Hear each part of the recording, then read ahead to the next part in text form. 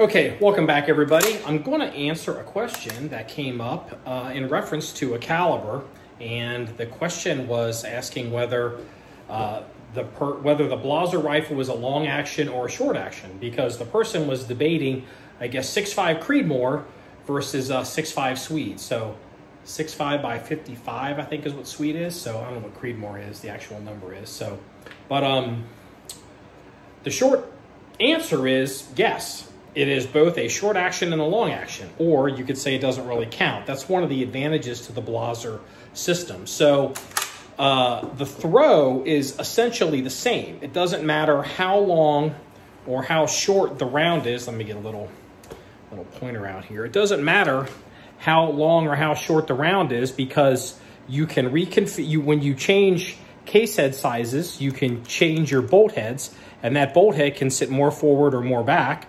Uh, also, as a, as a clue, um, well, I'll address the, to, the long rifle rimfire in a minute.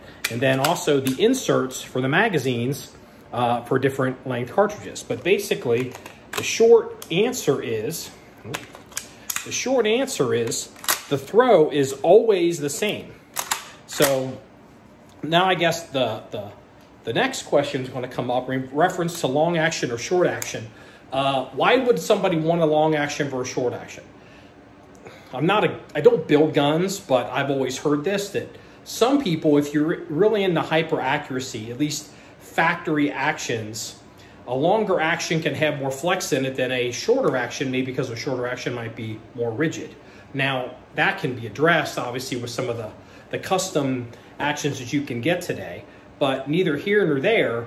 The, uh, the Blaser, when you're cycling the action, the throw is the same. So whether I'm shooting 6.5 Swede, I can still shoot this and not have to lift my face off the rifle to, to cycle the action.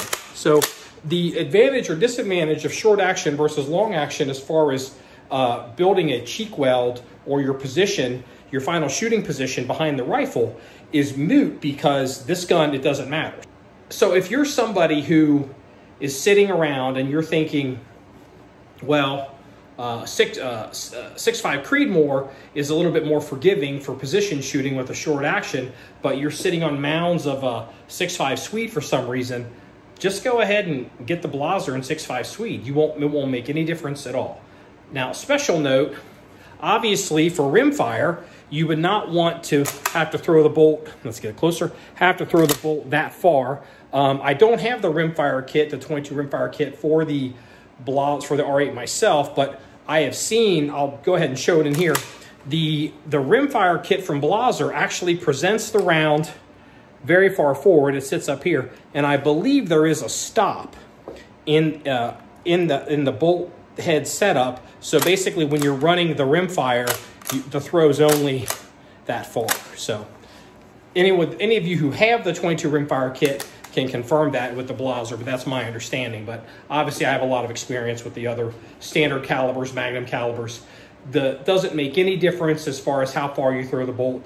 The gun can absorb it all because inherently, because the Blaser doesn't have a traditional action, the action is so much shorter than a turn bolt that the throw is a non-issue. So question asked, question answered. Hopefully this helps. If you want to see any more stories or pictures or links of this kind of stuff or the Blaser R8, please go to the website at john1911.com. That's J-O-H-N1911.com. Remember, it's all about shooting guns and having fun. Everybody, have a good day.